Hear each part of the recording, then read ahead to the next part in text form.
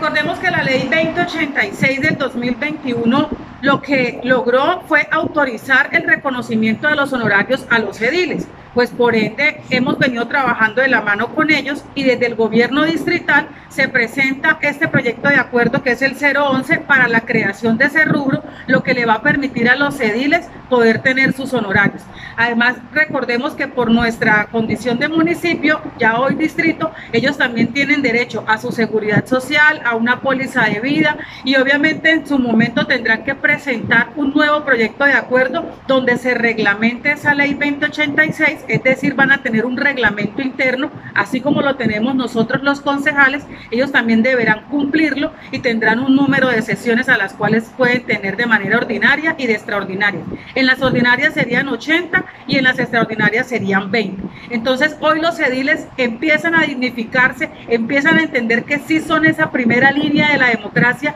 que tanto necesita nuestro territorio. contraditório.